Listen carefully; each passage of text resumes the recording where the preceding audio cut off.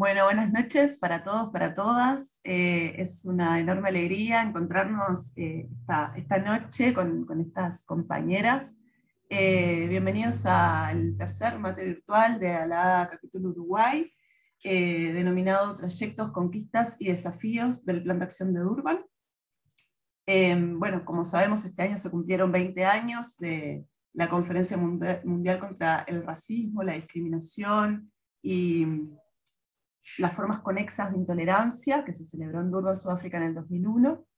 Eh, creemos firmemente que Durban marcó un antes y un después en la historia de, los pueblos afrodescendientes a nivel mundial. Eh, bueno, dado que de esta conferencia surgió una, una plataforma potente de acción política, de lucha antirracista, con un alcance global que no es menor, ¿no? donde se cristalizaron muchas de las demandas históricas de nuestras organizaciones por, a lo largo del tiempo.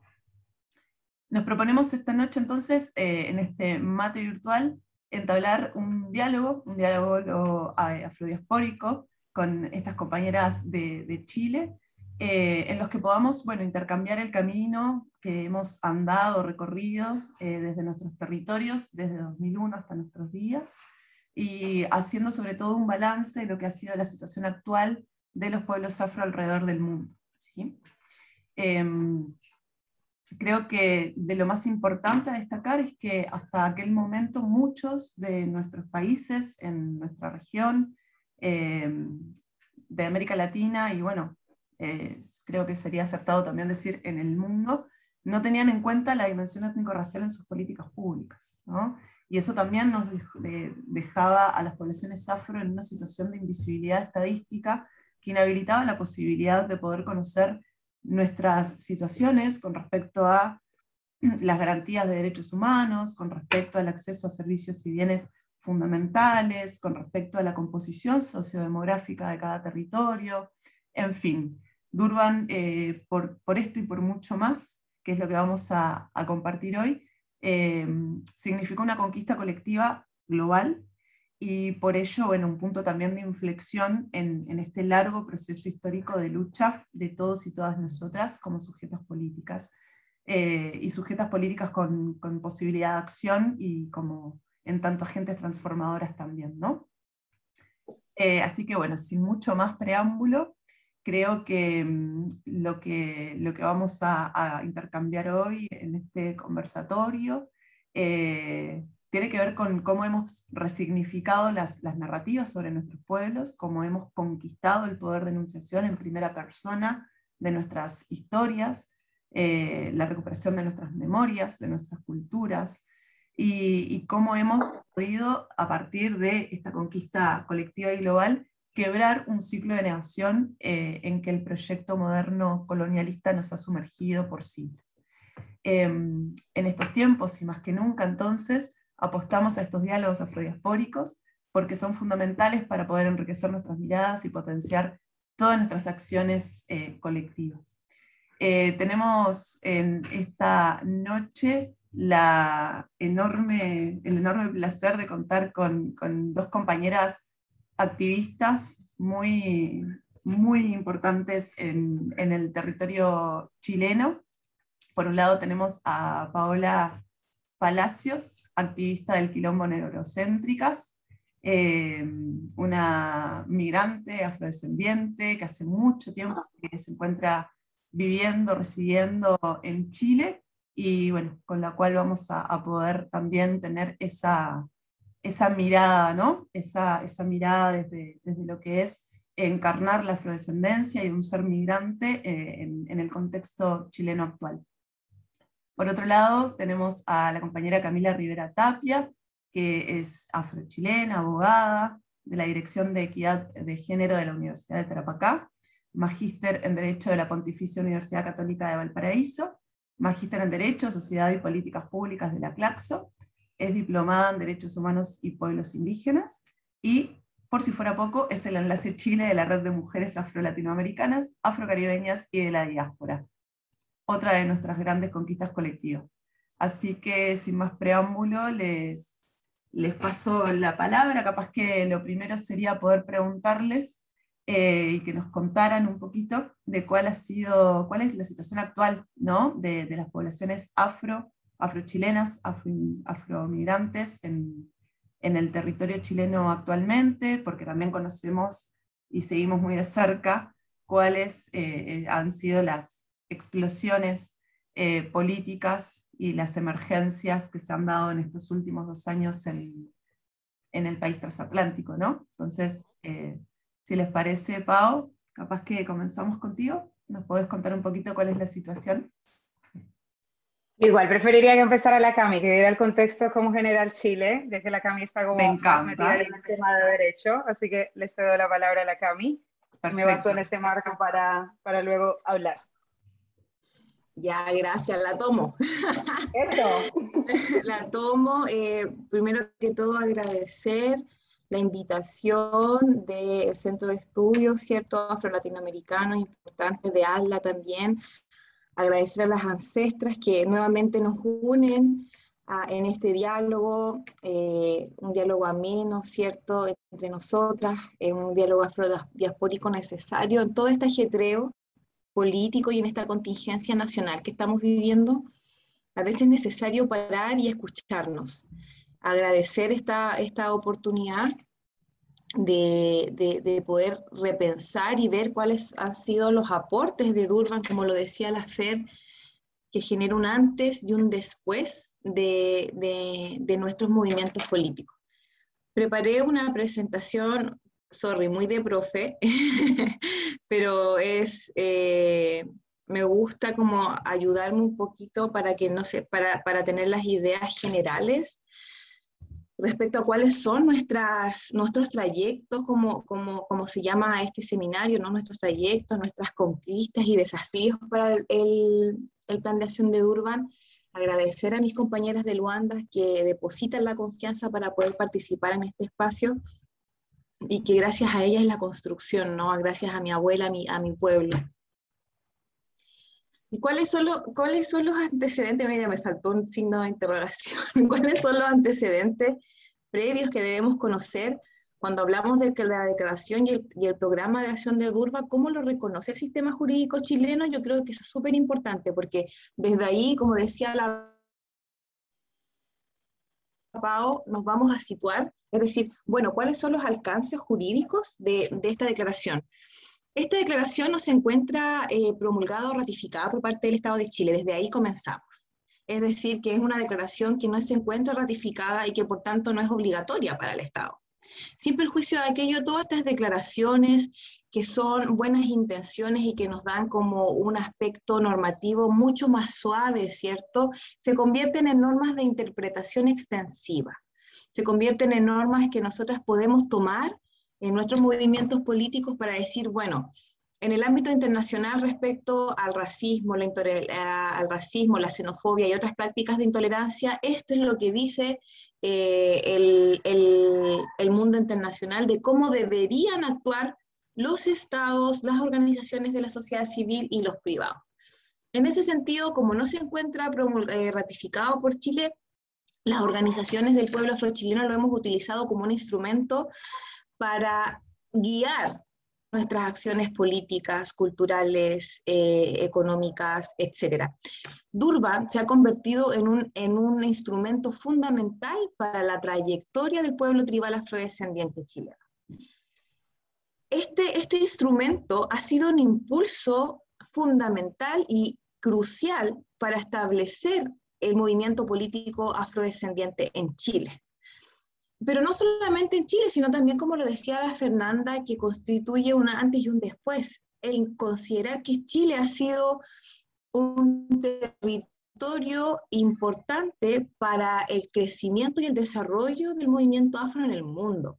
Desde el año, en el año 2000, ¿cierto? En Santiago de Chile, cuando se celebra la conferencia regional preparatoria de las Américas y la conferencia eh, ciudadana realizada en diciembre en Santiago de Chile, nace o emerge el concepto afrodescendiente. Y como está en muchos, eh, en muchos textos y también en la memoria de nuestras compañeras que asistieron, desde ahí emerge el concepto afrodescendiente eh, y como dice Romero Rodríguez, en, como dijo Romero Rodríguez en su oportunidad, entramos negros y salimos afrodescendientes. Durban se ha convertido en un, en un espacio fundamental para la construcción de las políticas públicas y la reivindicación de nuestros derechos como pueblo. Desde que nace y emerge se desconstruye esa denominación colonial, ¿cierto? Eurocéntrica de negro, negra, en el sentido de encontrarnos en una categoría inferior respecto a nuestros desarrollos y cómo influye el racismo en nuestras vidas a través de ese concepto colonial. Ahora las colectivas de mujeres, eh, las colectivas eh, de, todo el mundo desconstruimos el concepto negra y lo, y lo reformamos como una forma de negritud, de reforzar nuestras identidades. Pero como lo usaba el Estado, no era así. Desde Durban, desde el 2000, se impulsa eh, el, nacimiento del movimiento político del pueblo tribal afrodescendiente chileno. Participan las compañeras Marta y Sonia Salgado en esta conferencia mundial eh, y llegan al territorio ancestral y llegan a los territorios. Nosotros estamos desde, desde el año como ya tomando conciencia y tomando, y tomando las herramientas para reivindicar nuestra identidad desde el año 2000, pasando por muchos procesos, ¿cierto?, de la chilenización, la, primero la colonización, la chilenización, y después este convencimiento a nuestras familias de que, oye, ser negro es un orgullo, ser negra es un orgullo, bueno, formemos organizaciones de primero desde lo cultural para luego impulsar lo que es la reivindicación política y de derechos del pueblo afrodescendiente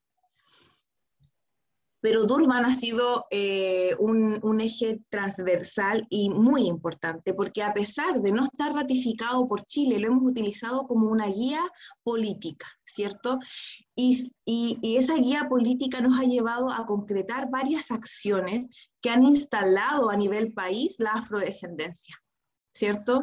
Y que toma, y que toma una fuerza, ¿cierto?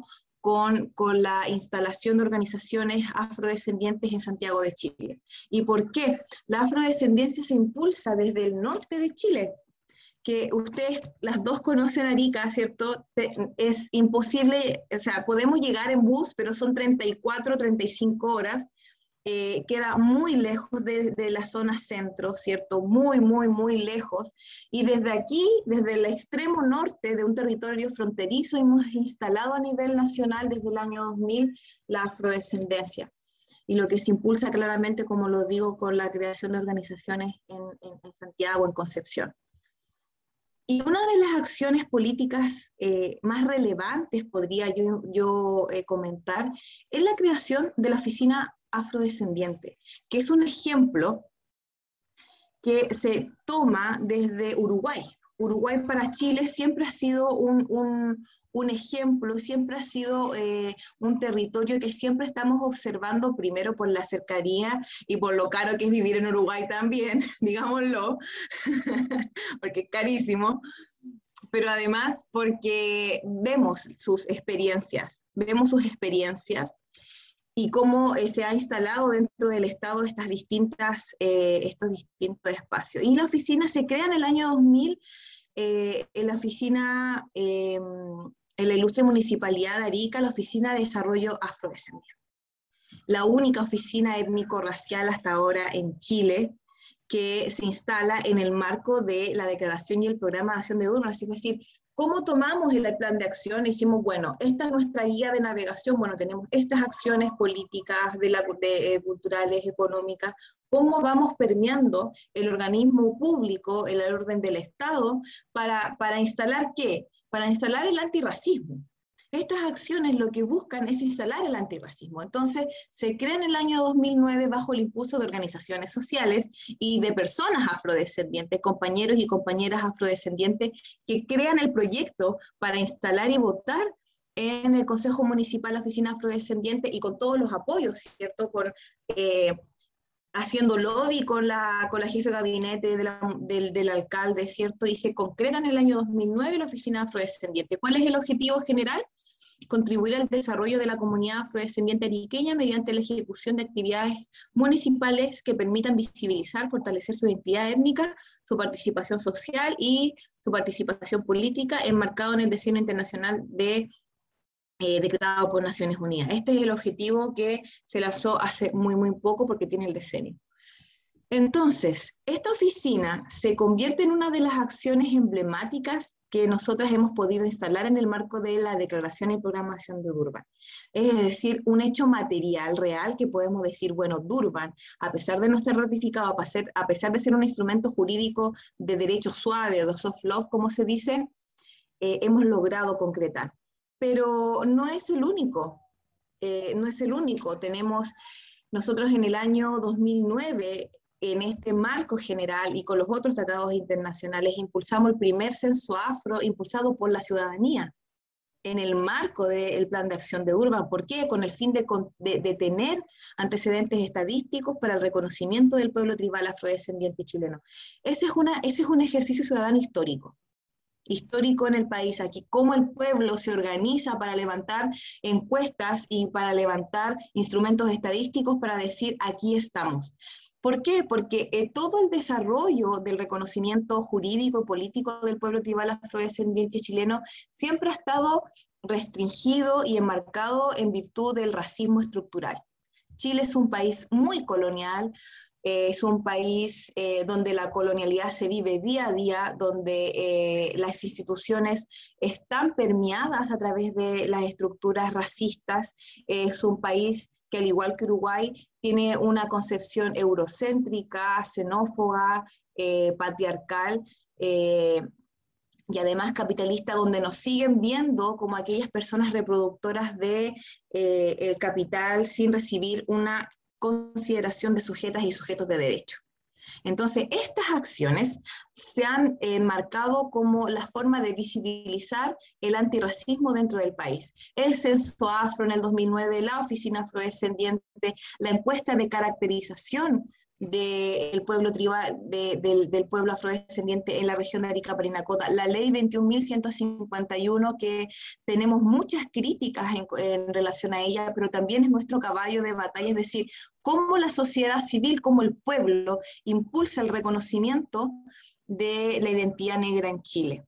Eh, y todas estas acciones se han fundamentado en virtud a la declaración y el programa de acción de Durban. Para nosotras, para, para, nosotras Durban es, es como, para no decir ya algo tan religioso, pero es como el mantra, para no decir la Biblia, pero es lo fundamental para poder encauzar la lucha, la lucha política de, de nuestro pueblo. Pero existen muchas y muchos desafíos para la implementación de la declaración y el programa de acción de Durban. Así, a muy, graso, a muy grosso modo, de una manera muy resumida, primero instalar eh, la, en la nueva constitución el antirracismo, ¿cierto? Y eso es claramente con la Declaración y Programación de Durban, con la Convención Internacional sobre la Eliminación del Racismo y eh, con la Convención Internacional sobre las Prácticas de Xenofobia, eh, con el Convenio 169, etc.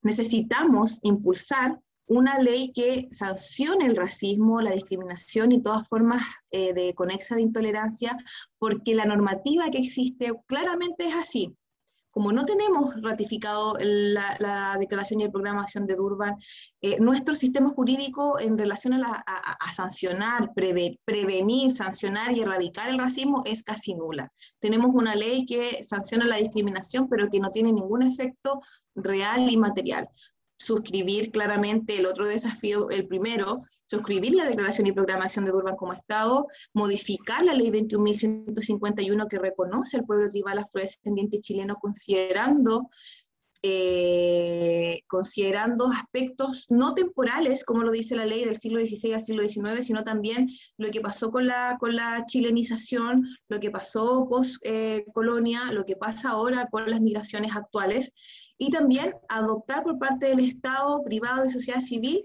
la declaración y programa de acción de Durban. Yo creo que esos son los grandes desafíos y que podemos ir conversando, conversando posteriormente de cuáles son los otros. Y claramente agradecer nuevamente a mis ancestras y a la colectiva por estos espacios de diálogo y de encuentros.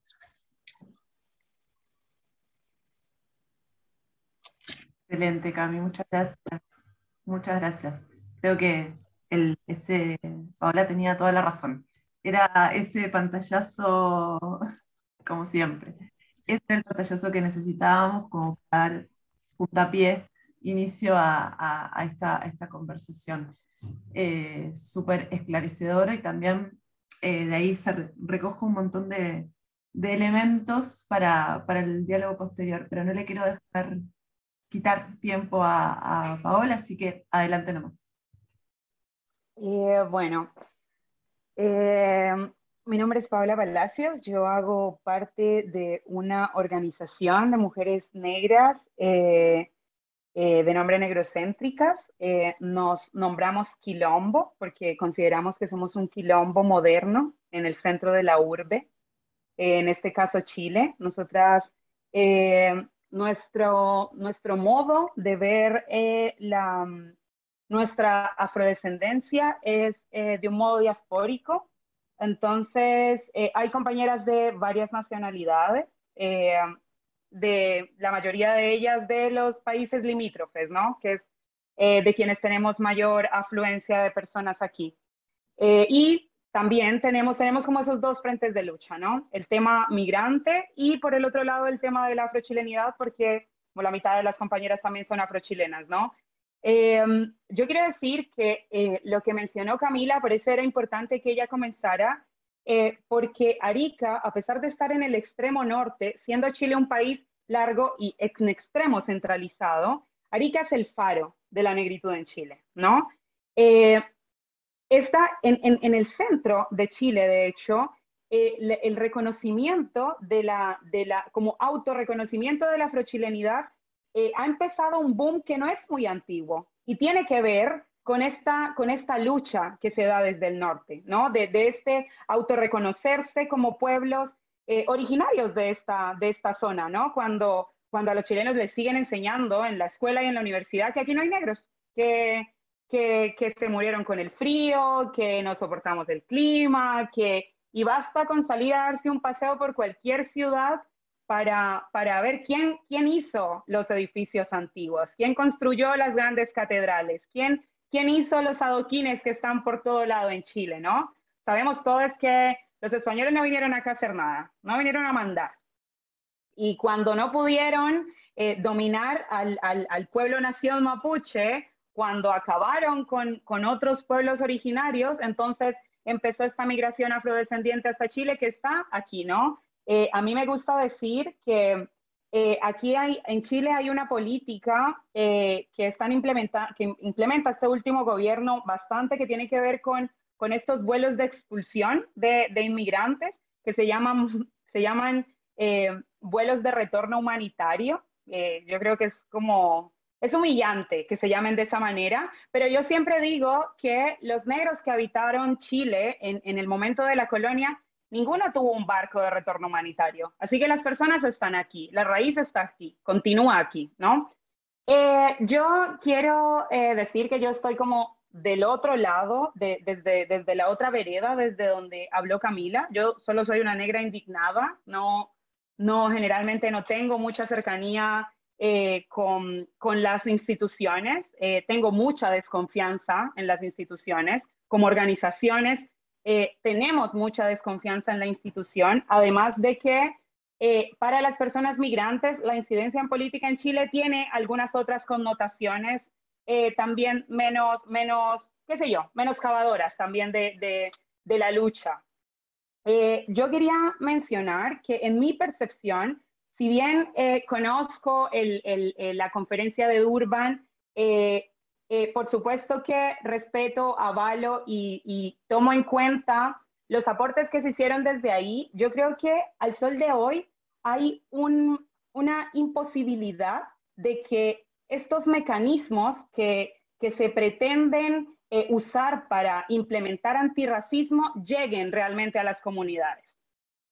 Es mi percepción. Creo que eh, en Chile, por ejemplo, como mencionaba Camila, no tenemos una legislación que condene los actos de racismo. Hay una ley que es esta, esta ley Samudio que le llaman, eh, que, que no, que se llama ley de discriminación arbitraria, ¿no? Entonces, empezando por ahí, eso, ¿qué es discriminación arbitraria, no? Puedes englobar casi cualquier cosa en eso, ¿no? Eh, y tenemos, por ejemplo, un caso muy, muy em, em, memorial, qué sé yo, para nosotras aquí en el centro, que fue eh, la muerte de Joan Florville. Nosotras, yo en particular, prefiero llamarlo asesinato porque es una muerte que no se ha esclarecido.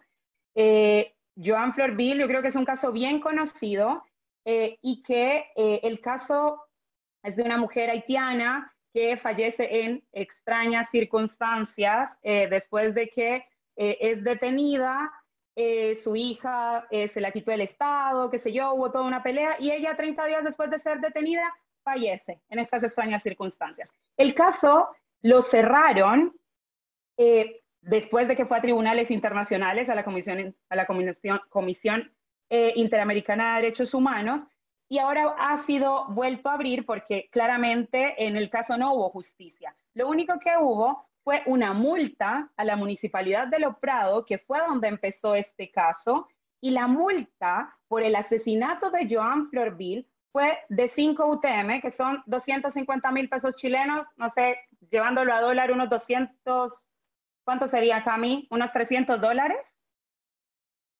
Si lo, ya. Eso fue la repercusión para el Estado chileno por la muerte de Joan Florville, una muerte que todavía no se esclarece. Entonces, para nosotros eso sigue siendo un mensaje muy directo. La vida de una mujer negra migrante en Chile vale 300, 300 dólares, ¿no? Aquí nos pueden hacer cualquier cosa y no hay ninguna repercusión porque no hay legislación, no hay ningún castigo.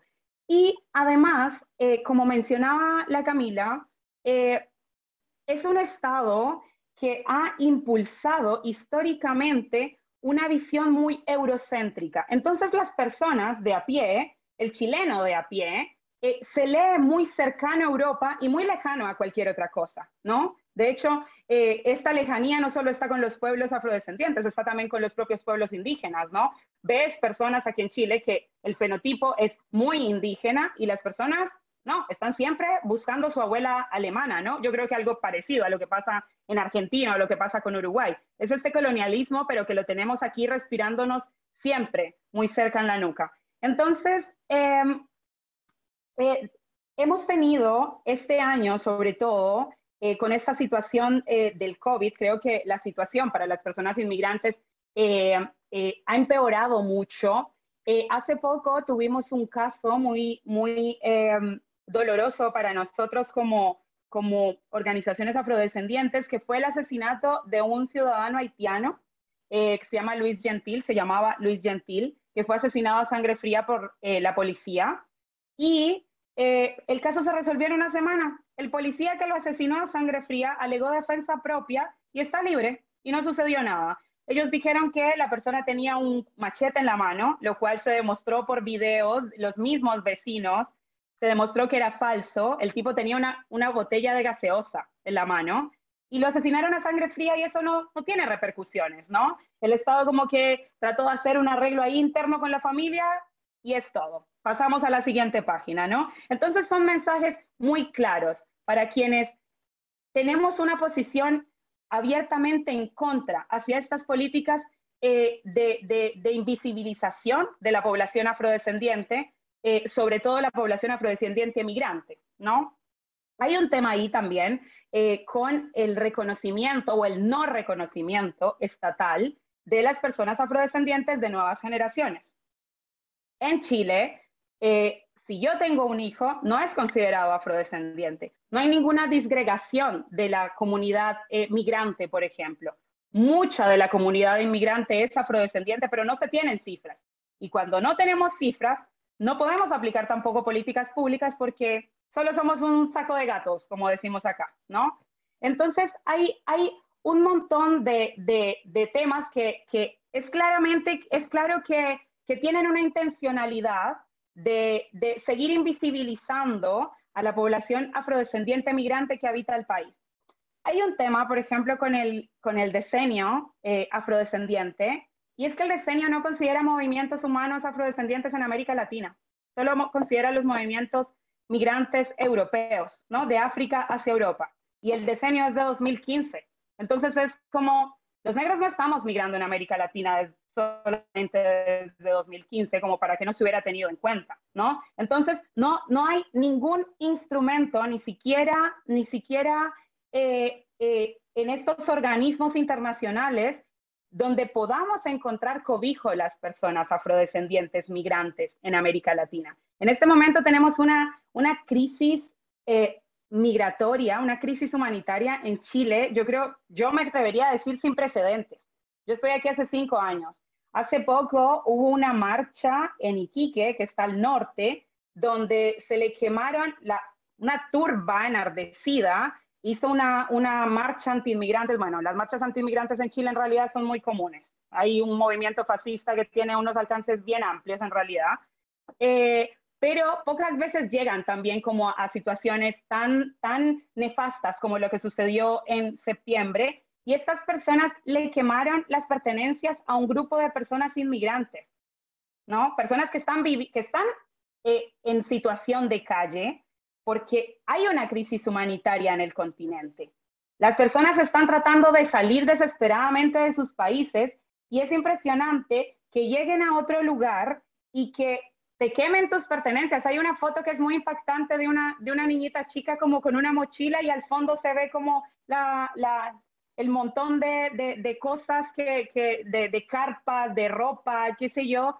Em, no sé, yo eh, la verdad siempre con estos temas eh, que tienen que ver como con estos organismos internacionales, yo creo que no es un secreto, soy bastante pesimista, creo que eh, no hay una desconexión entre, entre lo que se, se habla en los eventos y lo que sucede en las comunidades. Creo que la información no, no llega a decantar. No quiere decir que no hemos avanzado, por supuesto que sí. Durban ha hecho que en un montón de países se, desarrollen legislaciones que castigan el racismo. Se ha hecho que, bueno, estaba diciendo ahorita Camila, que nos guste o no la ley, que tenemos en este momento es el primer instrumento que tenemos y hay que defenderlo y hay que ampliarlo, pero, pero es una gran demostración de que el Estado chileno es un Estado abiertamente racista. A mí, yo siempre lo digo y me parece muy impresionante que creo que Chile es el último país en el que, el último Estado que reconoce la afrodescendencia dentro de su población. Yo, por un lado, eso es, es, es, la clara lucha de un pueblo, pero por el otro lado, es, es un Estado que, que, niega nuestras existencias históricamente, ¿no? Que no nos quiere aquí, que solo, solo nos quiere eliminar. Por otro lado, también, em, creo que es necesario que empecemos a trabajar en líneas de reparación, en cupos, como hay en otros países. En Colombia, por ejemplo, que qué sé yo, no es que se cumpla mucho, pero la constitución de 1991 en Colombia, eh, donde, donde nos declaramos Estado, eh, creo que es multicultural, no plurinacional, sino multicultural, que ahí también tienen sus, sus, sus eh, cositas, resquemores legales, se le dio el reconocimiento a los pueblos afrodescendientes como consejos comunitarios y tienen como ciertos modos de autogobernanza, igual que los pueblos indígenas, eh, pero esto también significa eh, empezar a cerrar las brechas de desigualdad racial en el país, ¿no? Eh, cupos en las universidades para los jóvenes afrodescendientes, porque los jóvenes afrodescendientes no van a la universidad, cupos en el Congreso, en las instancias institucionales del Estado, para que las personas afrodescendientes puedan tomar también sus decisiones como hay en otros países. Estas instancias aún no las tenemos en Chile. Yo creo que si hablamos de desafíos, esa es la línea de los desafíos. Como decía Camila, me suscribo a esto. Primero que todo, eh, la pelea es hacer que el Estado ratifique el convenio, porque de ahí vamos a poder tener un instrumento del cual agarrarnos para hacer una pelea, ¿no? Eh, a mí me pasa que eh, yo estoy muy relacionada como, con comunidades de base, entonces nos es muy complejo trabajar en torno a estos temas institucionales porque tenemos que apagar incendios constantemente. Para nosotros es echar en una familia, esto, apuñalaron a alguien, asesinaron a alguien, ¿no? Entonces, eh, eh, no es que tengamos, y bueno, las personas que, muchas de las personas que están dentro de las organizaciones, tampoco tenemos eh, como la experiencia para poder desarrollar informes y qué sé yo, y hacer las denuncias correspondientes, porque yo creo que ese es el camino, poder desarrollar las denuncias, pero muchas veces toca enfrascarse en lo, en lo inmediato y se nos escapan también estos otros instrumentos. Entonces tenemos ahí, vuelvo eh, a, repetir, como tenemos un, un, espacio que no estamos sabiendo cómo, cómo cerrar, ¿no? Entre lo que, lo que se, habla en estas conferencias que también eh, eh, no están abiertas a todo el mundo y lo que pasa en las comunidades, ¿no? Creo que ahí hay, hay un abismo que no hemos cerrado y que si tú le preguntas a cualquier persona de la comunidad afrodescendiente, no tienen ni idea qué es Durban, no tienen ni idea desde cuándo usamos la palabra afrodescendiente, por qué sí, por qué no. No, no, no, hay, hay una hay mucho, yo creo, hay muchos desafíos. Yo creo que, que, que, por supuesto que, repito, reconozco mucho los esfuerzos que se han hecho para que lleguemos hasta este punto, para conmemorar 20 años de esta conferencia, pero creo que tenemos muchísimos desafíos, necesitamos aterrizar lo que se habla en esas instancias al, terreno físico, a lo que pasa con las comunidades en el día a día. Eso. Excelente, creo que cualquiera de las dos y desde sus diferentes miradas y bien diferentes miradas, eh, aportan elementos súper nutritivos y necesarios ¿no? para tener en cuenta eh, en, críticamente sobre este proceso, porque por supuesto que no es la panacea, por supuesto que eh, enfocar nuestros esfuerzos colectivos, organizados, como sociedad civil, ¿no? Eh, a lo que es eh, bueno, la conquista de políticas públicas, el diseño, la implementación, eh, en definitiva, conquistar nuestra calidad de ciudadanos y ciudadanas ¿no? En nuestros territorios y en el mundo, no debería ser el, el, foco ni debería ser el objetivo final, sino que el objetivo final es, es, mucho más allá, está en el poder de, de una buena vez por todas eh, ser los protagonistas de nuestros destinos y de nuestras, de nuestras historias y recuperar un poco ese control, ¿no? El, el control de, de, poder generar políticas para la vida eh, y superar las, las, políticas de muerte que se nos han impuesto durante, durante tanto tiempo. Eh, me parece súper interesante esto que, que, compartían ambas en tanto eh, Arica y Parinacota, ¿no? El, norte chileno como, una, como un faro, a pesar de, eh, su posición en el territorio chileno, ese extremo fronterizo, ¿no? aislado, de difícil acceso, árido, ¿no? que también se puede decir árido en el amplio sentido de la palabra, eh, incluso socialmente, y porque sabemos también cuáles son las características del racismo en Chile, que ustedes también lo estuvieron conversando, donde está tan impregnado del clasismo y del sexismo por las características propias de la idiosincrasia nacional chilena. Eh, a pesar de todo eso y a pesar de esas condiciones, termina siendo un, faro de luz, ¿no? Y termina eh, generándose como un, eh, generando una posición que geopolíticamente hablando para, para los pueblos afrodescendientes en Chile eh, es, es, es, importante y que genera movimientos también, movimientos de acciones políticas que no son nada menores, ¿no? Eh, es muy es muy lindo ver cómo nos, nos estamos observando continuamente, ¿no? Y esto que decíamos al principio, es importante apostar a los diálogos afrodiaspóricos, creo que lo, lo estamos ratificando en, en este encuentro. Eh, sí.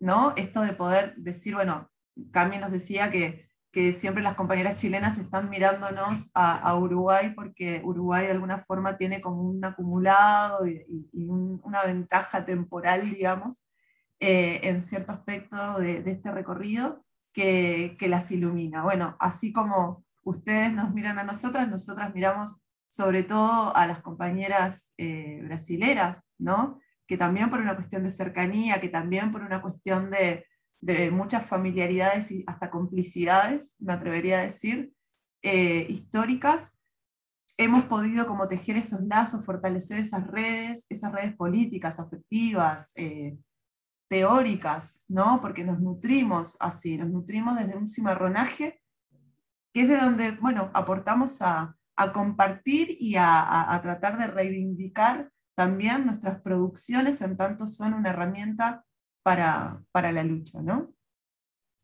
Eh, y, Fernanda, apoyar esa, esa, esa, esa conclusión, lo que, lo que relata Paola no es tan diferente a lo que nos pasa a nosotras y, nos, nos, pasó y nos sigue pasando. Por eso no son miradas diferentes. Yo la encuentro con tanta similitud, con tanta similitud, considerando que nosotras tenemos, o sea, el pueblo afrodescendiente tiene un proceso de 20 años.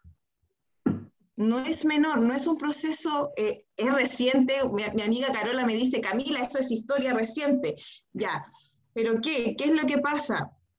Eh, estos procesos los vivimos también igual nosotras y nosotros en el pueblo. El tema es que el proceso es más largo y hemos, y hemos aprendido a tener herramientas y resistencias ocultas, expresas, presentes, donde nosotras nos hemos apropiado del instrumento para conseguir esa política pública que es muy mínima, pero que así la vamos, la vamos instalando.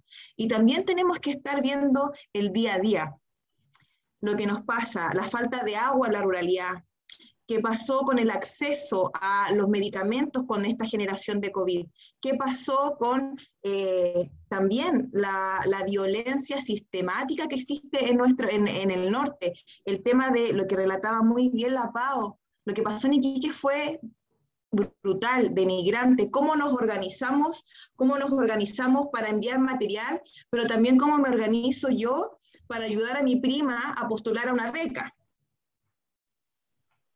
¿Por qué? Porque nosotras, nosotras ahora estamos generando las primeras generaciones de profesionales afrodescendientes y que estamos teniendo la conciencia, pero también tenemos que ir resolviendo, bueno, cómo postulamos los subsidios habitacionales para nuestra gente entonces lo que dice Paola a mí me hace mucho sentido y no son veredas diferentes, muy por el contrario, el racismo nos, el racismo nos deja todo en una situación de, perjuicio y cómo nos hemos ido eh, y cómo nos hemos ido levantando esa ha sido la estrategia, porque también acá es diferente lo que, puede, lo que pueda pasar con la población, con nuestros hermanos y nuestras hermanas migrantes.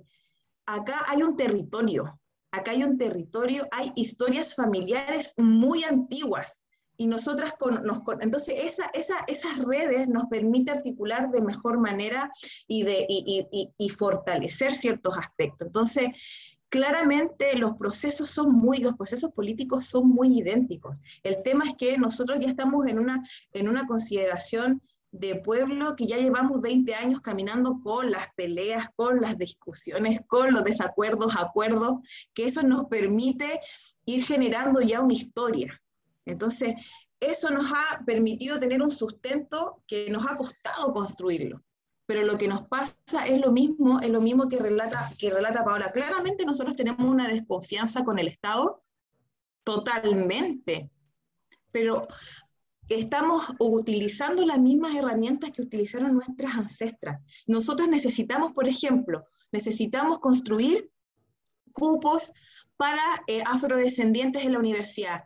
Fer, tú conociste muy de cerca cómo nosotras peleamos conseguir ramos y asignaturas en la Universidad Tarapacá. Dicho sea de paso, universidad donde nace la afrodescendencia, que todavía no tiene cupos para afrodescendientes.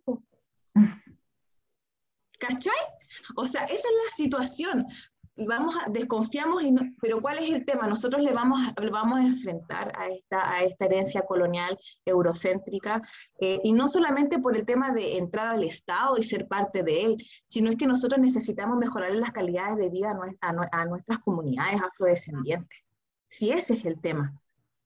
Si ese es el tema, nosotras no podemos, nosotras tenemos un trabajo de base, tenemos un trabajo con comunidades, tenemos un trabajo de organizaciones y ahí hay un grupo que está trabajando con estas, con estas articulaciones con el Estado y seguimos trabajando también con las bases. Entonces, lo relata Paola para mí es como claramente eh, parte de nuestros procesos permanentes, porque el tener ley, chiquilla, el tener ley afrodescendiente no nos aseguró escaño reservado. Nada, no asegura nada. Ese es el tema. Eso es lo que yo digo. Después de dos décadas de pelea, el Estado, siento yo como que nos, nos sigue haciendo lesos. Nos sigue haciendo lesos. a ustedes que han estado ahí dando la pelea y obviamente para nosotros que queda absolutamente nada. Si, si al Estado no le interesa, no le interesa tener políticas públicas aplicadas para afrodescendientes, no le interesa de nada. Imagínate que una conferencia que se que, que una ramita se, se, de, de, esa cuestión se hizo aquí en Santiago de Chile. ¿Cómo no puede haber ningún instrumento en Chile que, que, se condiga con eso? Es una el Estado en Chile es abiertamente racista. No tiene ningún problema en, decirlo. El candidato este, ni siquiera le voy a dar publicidad, eh, de ultraderecha que, que, que, está presentándose, dice unas barbaridades que son inimaginables. ¿Y qué pasa? Que hay como una, una, hay culturizado un racismo que eso se empieza a traducir en que a mí, por ejemplo, ahora que están en campañas presidenciales, que esto pasa cuando hay como una... El Estado chileno tiene dos enemigos públicos muy grandes, los migrantes y el pueblo mapuche. Si aquí llueve para arriba, ahí tienen un caballito de batalla para montarse y defenderlo con eso. Este tipo dice un montón de sandeces, barbaridades contra los inmigrantes, una deshumanización espantosa, y esto se empieza a volver, eh, se empieza a reproducir en la calle, como que la gente, a mí este último vez, me han mandado a mi país más que en los últimos cinco años, ¿no? Porque también es eso, tener, tener como la marca de lo que ellos no quieren aquí en la piel.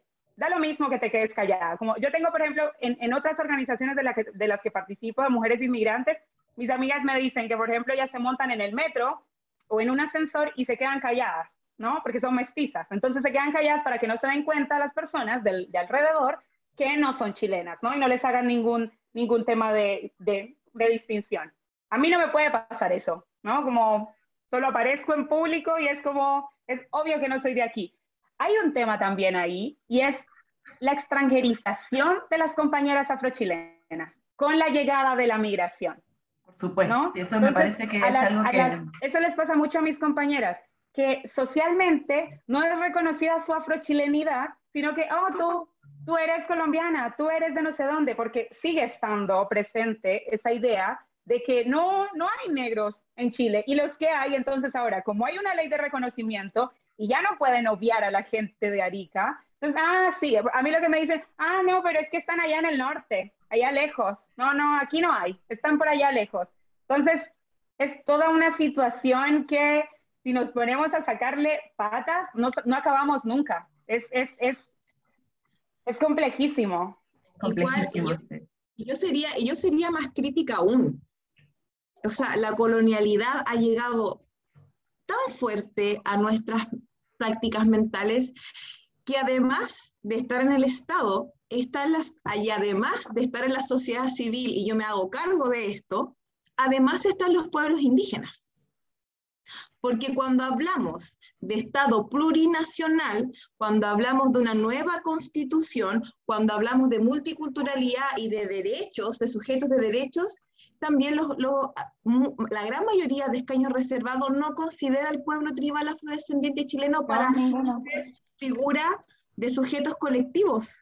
O sea, la, la colonialidad ha estado tan fuerte, incluso en aquellas personas que deberían dar la lucha por la erradicación del racismo, del sexismo y de la colonialidad. Y no, y no llega. Y el Estado, como dice Paola, no tiene ningún problema, y ellos tampoco tienen ningún problema de decir, no, es que solamente se, se ya bueno, nosotros tenemos esta pelota, eh, la vamos a usar, pero solamente para nosotras porque nosotros somos, los, nosotros somos los pueblos originarios. Oye, ¿qué te pasa? O sea, desconstruye tu mente capitalista. El tema es que no te vamos a quitar a ti, sino es que se considere sujetos de derechos colectivos a un pueblo que también está establecido antes de la construcción del Estado-Nación. Además que ese pueblo, gracias a ese pueblo, se construyó lo que tú conoces hoy como país y además construye la identidad cultural y además seguimos aportando con las nuevas poblaciones que van llegando y están haciendo las funciones que tú no quieres hacer. Entonces, ¿cuál es la consideración de dónde estamos como un Estado de derechos? En las prácticas actuales que tenemos no están, no están garantizados nuestros derechos como población negra. Y no solamente lo quiero decir como pueblo afrodescendiente, porque también me hago cargo de esto. Nosotros llevamos una lucha de 20 años y, estamos, y, es, y es como nosotros le hemos ido dando vuelta, pero también hay que dar una protección a la nueva afrochilenidad y a la afrochilenidad. O sea, dejemos de poner esas barreras que finalmente no nos están sirviendo de nada. Porque acá lo que estamos viendo, estamos hablando de vidas de personas, que lo mismo que le pasa a la Paola, a mí también me, me, ha pasado históricamente y le ha pasado a mis abuelas y le ha pasado porque ahora esto, estamos viviendo un racismo más público, pero nosotras tenemos historias en nuestra sangre, que en, nuestros, en, en Chile, en nuestras casas, tenemos ejemplos del Ku Klux Klan, que nos rayaban las casas, que, nuestros, que mis abuelos, que mis tíos tuvieron que esconderse en pozo, que a mí, por ser afrodescendiente, me decían en la universidad, ay, pero ustedes son tan folclóricos, ¿estás segura que quieres postular esta asignatura de Derecho Penal?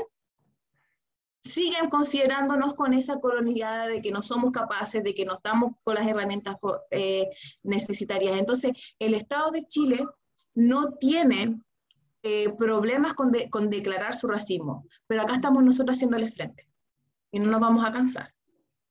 Por supuesto que no, porque además no estamos solos.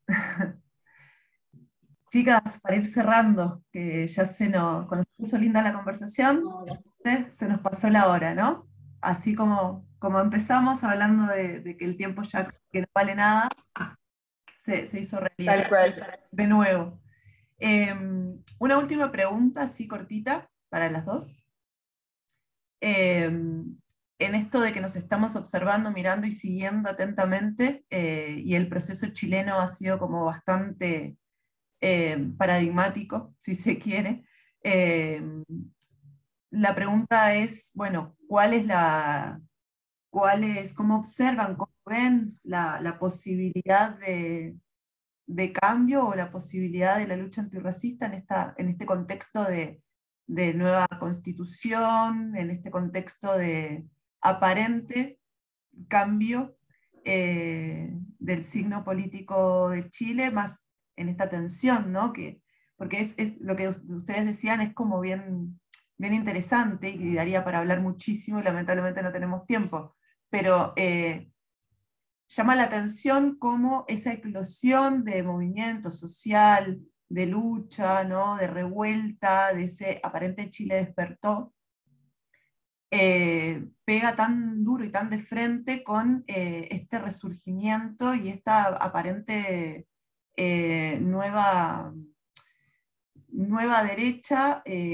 como empoderada de alguna manera, ¿no? Que, que, está en este momento disputando con, como con mucha fuerza y con, mucha, con mucho respaldo, digamos, al parecer, esta posibilidad de ocupar nuevamente el gobierno. Entonces, bajo este escenario, ¿cómo ustedes ven eh, la posibilidad de un cambio para, el pueblo tribal afrodescendiente, para el afrodescendiente inmigrante?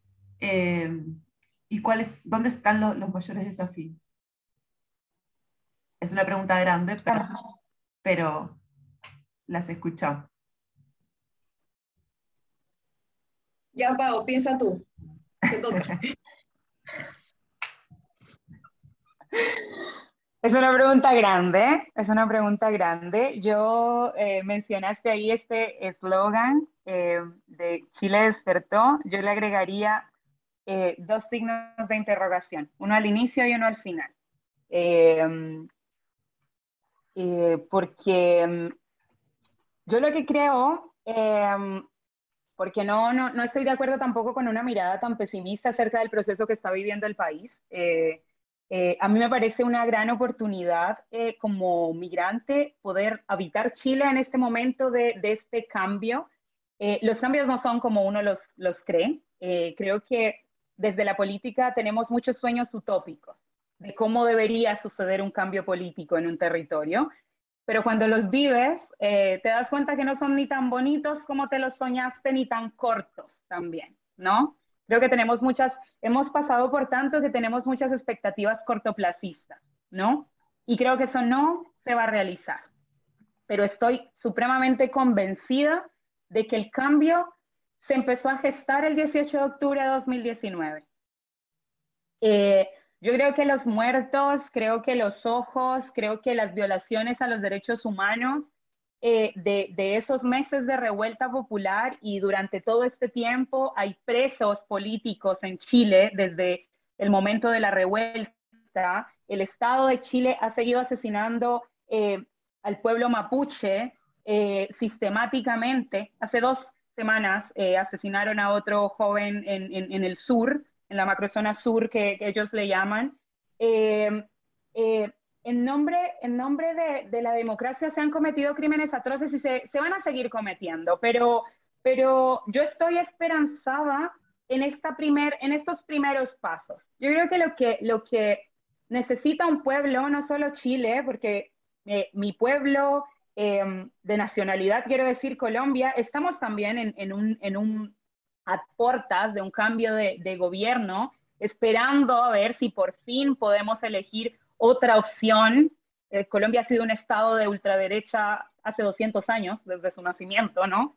Eh, y volviendo al tema Chile, yo creo que nosotros necesitamos eh, ser más pacientes, decantar un poco a veces la emocionalidad que tenemos con esta inmediatez acerca del cambio. Creo que las personas que están allá, quizá no todas, pero creo que en su mayoría están con un interés genuino de generar cambios, ¿no?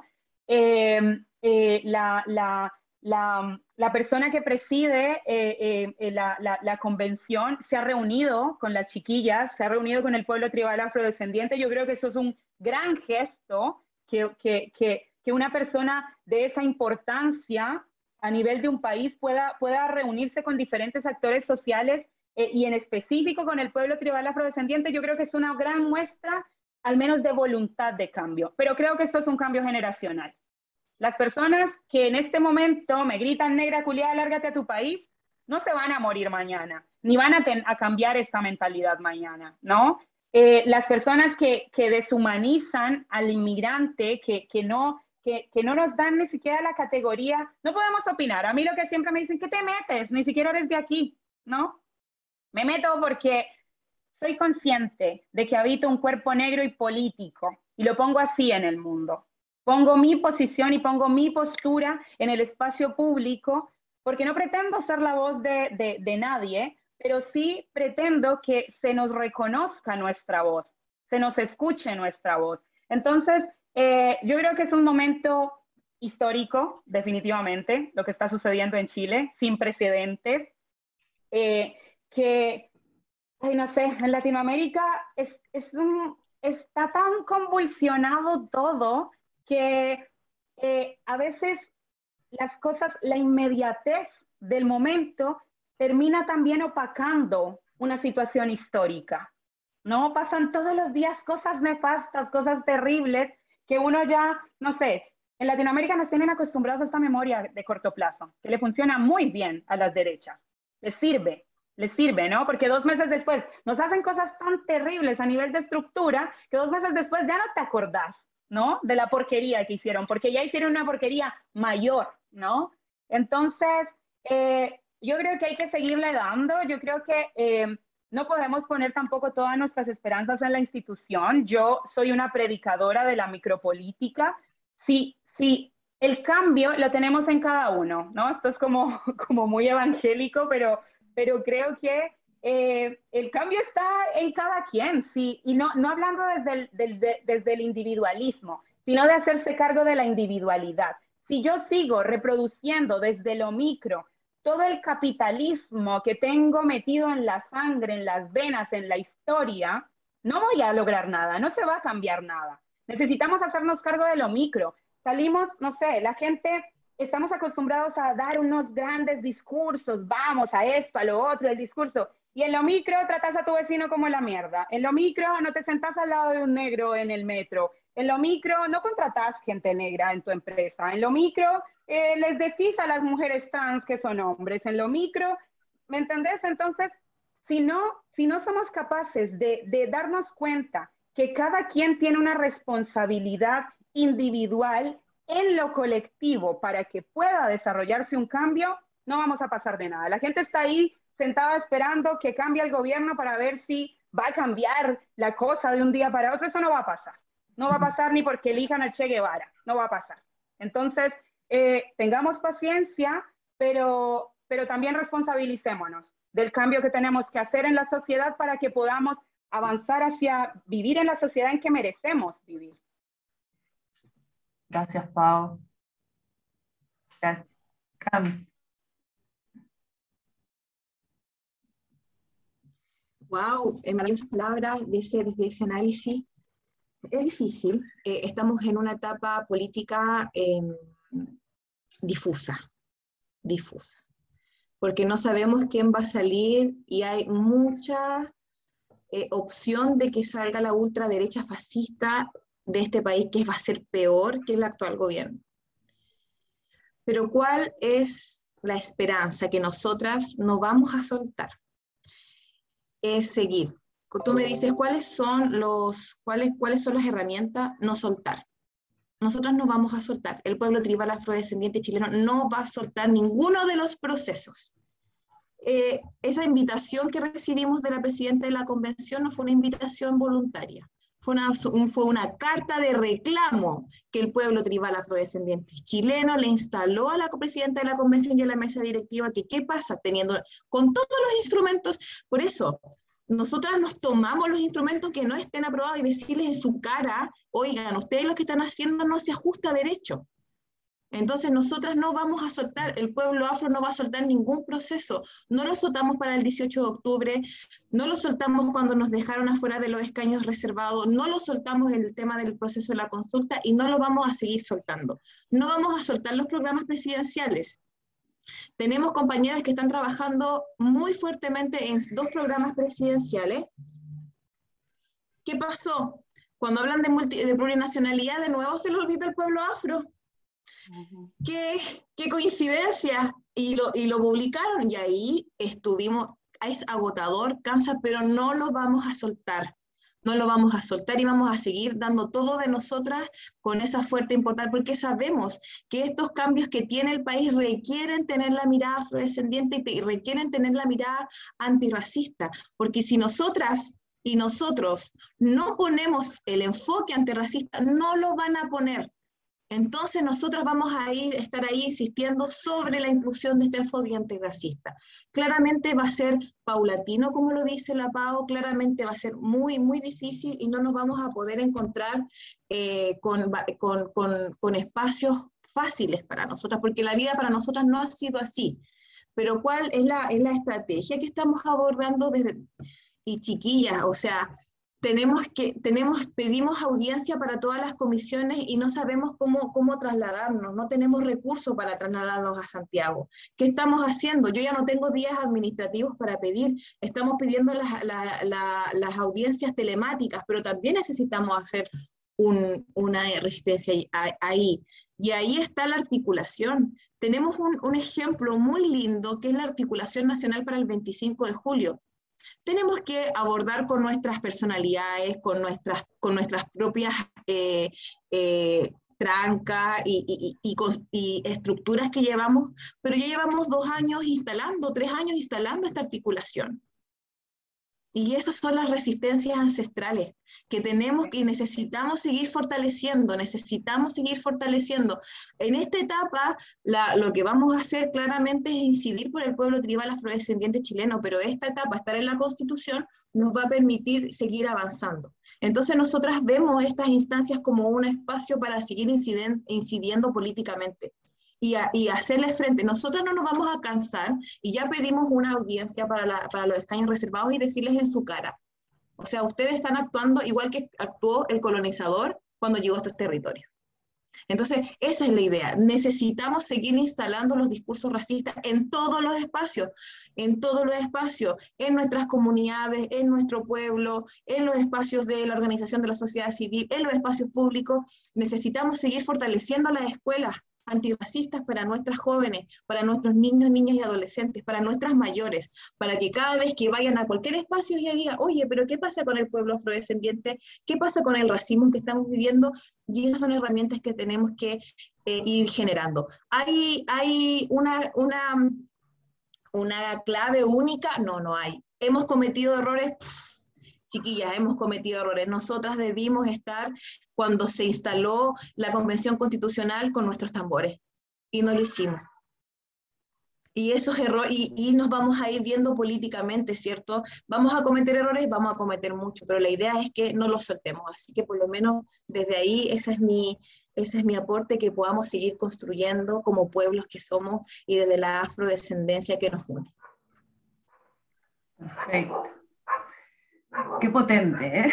ya sabíamos que iba a ser eh, rico el intercambio, pero eh, quedan, dejan ganas de, seguir conversando, compañeras. Muchas gracias por, por el tiempo, por el espacio, por la pasión, por la entrega, por su accionar.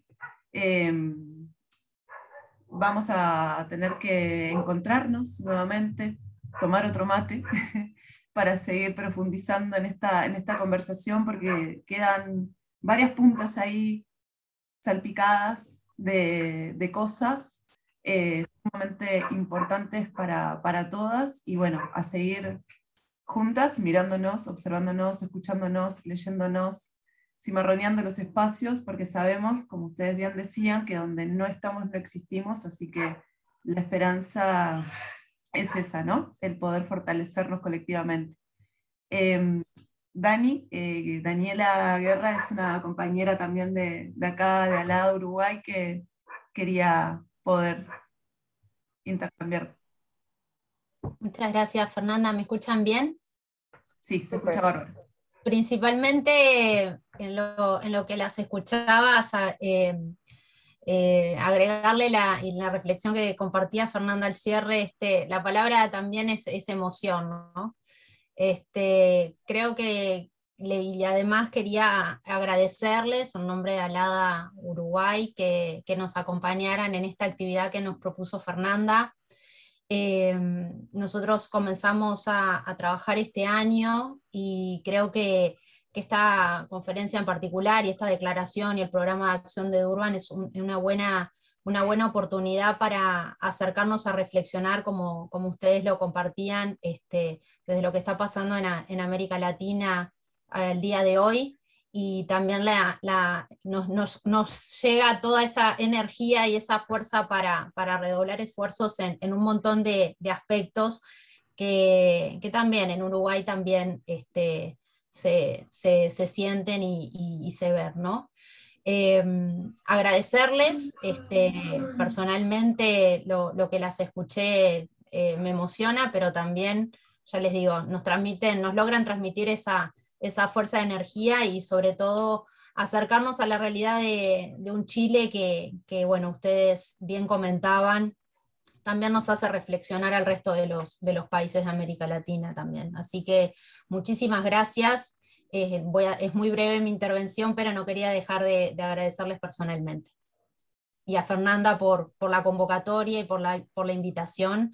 Eh, esta oportunidad de los mates virtuales es de acercarnos y de poder generar este, distintos contenidos que, que, acerquen a las temáticas. A Fernanda eh, creo que nos habíamos cruzado en algún momento en la universidad, pero en particular la tuve de profesora en el curso de afrodescendencia y los desafíos en la enseñanza superior, eh, y, bueno, por ahí también es uno de los caminos en los que bien lo, traía este, eh, eh, Camila, la enseñanza es todo, es todo un tema y en la enseñanza universitaria en donde nos desempeñamos muchos de nosotros, este, hay mucho para, para trabajar aún en nuestros distintos campos y en nuestras distintas asignaturas. ¿no? Así que nada, me quedo mucho pensando, reflexionando y ojalá nos podamos encontrar en futuras actividades.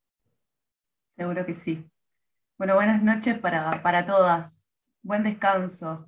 Muchas gracias, un gusto de verlas y compartir con ustedes, de verdad. Saludo a todas las, a todas las hermanas de Negrocéntrica. Paola, por favor, mándale mis saludos. Estamos siguiendo y también compartiendo todo lo que nos permite ayudar y siempre cuenten con nosotros en Así que un abrazo y cariños a todos. Igualmente. Un abrazo igualmente para ustedes allá en el norte, para las chicas allá en Uruguay, a ver cuándo hacemos una junta presencial ahí, su encuentro de mujeres del sur. En cualquier momento. Esto, se viene. Un abrazo, chicas, gracias por la instancia. Hasta luego, buenas noches. Buenas noches.